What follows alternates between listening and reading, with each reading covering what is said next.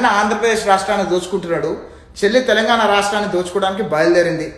తెలంగాణ రాష్ట్ర సోదరులందరికీ నా నమస్కారాలు. నేను మీ ఆంధ్రప్రదేశ్ రాష్ట్ర సోదరుణ్ణి. మా ఆంధ్రప్రదేశ్ రాష్ట్ర సోదరులు ఎలా అయితే మోసపోయారో తెలంగాణ ప్రాంత ప్రజలు కూడా అలా మోసపోవద్దని చెప్పడానికి మీకు చిన్న ముచ్చడి చెప్దామని మీ అందరి ముందుకు వచ్చిన. దయచేసి షేర్ చేయండి అందరికీ తెలంగాణ ప్రాంత ప్రజలందరికీ.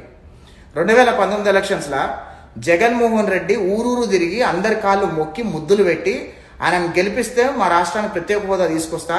మా రాష్ట్రాన్ని అభివృద్ధి చేస్తా రాజన్న రాజ్యం తీసుకొస్తా అని చెప్పి చెప్తే జగన్మోహన్ రెడ్డి చెప్పిన మాటలు నమ్మి మోసపోయి మేమందరం కలిసి జగన్మోహన్ రెడ్డిని గెలిపించుకుంటే మా ఆంధ్రప్రదేశ్ రాష్ట్రాన్ని రాజన్న రాజ్యం తీసుకొచ్చి దేవుడెరుగు కానీ ఉన్న రాజన్న రాజ్యాన్ని పూర్తిగా అమ్మేసేసి రాష్ట్రంలో రూపాయి పెట్టుబడి తీసుకురాకుండా రాష్ట్రంలో రూపాయి సంపద సృష్టించకుండా రాష్ట్రంలోకి ఉద్యోగం ఇవ్వకుండా రాష్ట్రంలో ఉన్న ప్రభుత్వ భూములను అమ్మేసుకుంటూ రాష్ట్రంలో ఉన్న ప్రభుత్వ సంస్థలన్నీ అమ్మేసుకుంటూ రాష్ట్రాన్ని పూర్తిగా భ్రష్టు పట్టించేస్తుడు జగన్మోహన్ రెడ్డి. రాష్ట్ర ప్రజలందరం ఆయన చెప్పిన మాటలు విని మోసపోయినాం.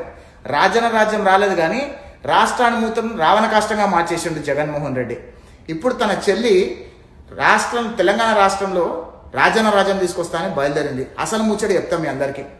షర్మిల తెలంగాణ రాష్ట్రంలో ఈరోజు పార్టీ పెట్టడానికి కారణం ఏంటంటే బీజేపీ. బీజేపీ ప్లాన్ ఏంటంటే ఎడిదిరిగి టీఆర్ఎస్లో ఈరోజు వ్యతిరేకత వస్తుంది కదా. టీఆర్ఎస్కున్న క్రిస్టియన్ ఓట్లు రెడ్డి ఓట్లు కనుక కాంగ్రెస్ వైపు పోకుండా ఈ షర్మిలాని తీసుకొచ్చి కాంగ్రెస్ ఏదో తెలంగాణ వైఎస్ఆర్ తెలంగాణ పార్టీ పెట్టిస్తే ఇటు రెడ్డి ఓట్లు క్రిస్టియన్ ఓట్లు దళిత ఓట్లు కలిసి షర్మిలాకు పోతాయి. అప్పుడు కాంగ్రెస్ బలపడకుండా ఉంటుంది. అప్పుడు బీజేపీ బలపడుతుంది అని చెప్పి బీజేపీ లబ్ధి పొందొచ్చు అని చెప్పి బీజేపీ వదిలిన బాణం షర్మిల.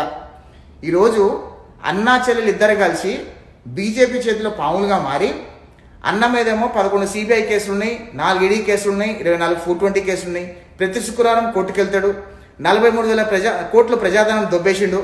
ఇవన్నీ కేసుండగా బీజేపీ చేతిలో కీలుబొమ్మగా మారిండు. బీజేపీ వాళ్ళు చెప్తే అన్నకేం చెప్పారు మీ చెల్లితో తెలంగాణలో పార్టీ పెట్టి అని చెప్పారు తెలంగాణలో పార్టీ పెట్టించి ఈ క్రిస్టియన్ ఓట్లు దళిత ఓట్లు రెడ్డి ఓట్లు చీల్చి కాంగ్రెస్కి నష్టం చేసి బీజేపీకి లబ్ధి చేకూర్చాలని చెప్పి ప్లాన్తో షర్మిల పార్టీ పెడుతుంది. దయచేసి తెలంగాణ ప్రజలందరూ ఒకసారి గుర్తుపెట్టుకోండి. తెలంగాణ రాష్ట్రంలో ప్రజలు ఎంత విఘ్నులంటే తెలంగాణ ప్రత్యేక రాష్ట్రం కావాలని చెప్పి కొట్లాడి పోరాడి తెచ్చుకున్నారు మీరు.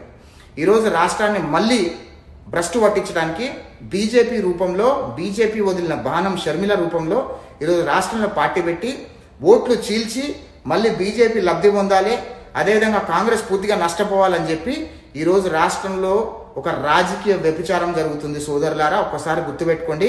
ఎట్లయితే మేము ఆంధ్రప్రదేశ్ రాష్ట్ర ప్రజలు జగన్మోహన్ రెడ్డిని నమ్మి మోసపోయినామో మా రాష్ట్రాన్ని ఎట్లయితే భ్రష్టు పట్టించుకుంటున్నామో మా రాష్ట్రంలో ఈరోజు దేశంలో ఆక చివరాఖరికి ఉంది మా రాష్ట్రం. అంటే అంత భయంకరమైన పరిస్థితి ఉంది మా రాష్ట్రంలో.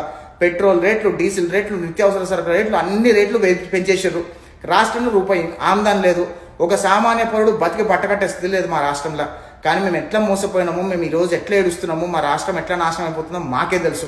మేము ఈరోజు పడుతున్న బాధ మీరు పడద్దని చెప్పి చేతులెత్తి దండం పెడుతూ ఒక సోదరుడుగా పక్క రాష్ట్రం ఆంధ్రప్రదేశ్ రాష్ట్ర సోదరుడుగా తెలంగాణ రాష్ట్ర ప్రజలకి వాస్తవాలు చెప్పడానికి ప్రయత్నం చేసిన. దయచేసి ఇది విని మీరు గ్రహించి మీ రాష్ట్రాన్ని మీరు షర్మిల నుంచి కాపాడుకుంటారని బీజేపీ నుంచి కాపాడుకుంటారని ప్రార్థిస్తూ సెలవు తీసుకుంటున్నా.